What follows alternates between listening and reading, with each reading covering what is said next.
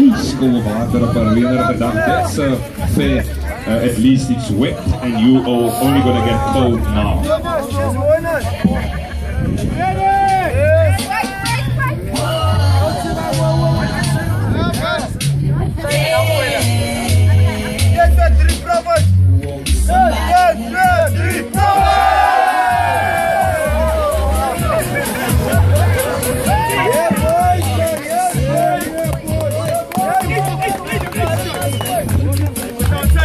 Now turn of uh, private care. Where's the guys of private care? Come uh, have your second round.